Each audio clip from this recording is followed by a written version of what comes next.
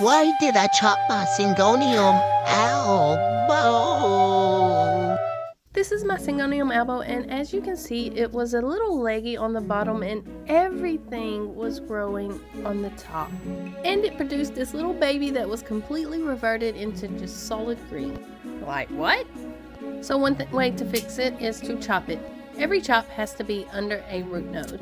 I went to work chopping here, here, here. Oh yeah, you gotta go too. Even though this is the leggy part, there are root nodes, so I'm still chopping. After I finished chopping, there was nothing left but the butt cut and the reverted baby. I left those in the pot because they have established roots and they can still grow. All they need is a nice sunny spot. So why did I chop my Syngonium albo? So I can make more. Duh.